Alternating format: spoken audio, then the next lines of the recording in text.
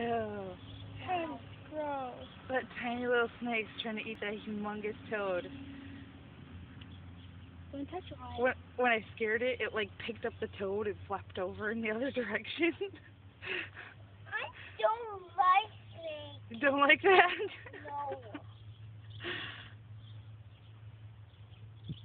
I don't think he's gonna be able to eat them. Oh, he will. think so? You just gotta give him some time. Seems so humongous compared to the little snake. He just has his feet in there. Pretty soon he's gonna extend his jaw. Yeah. And that's, that's when it's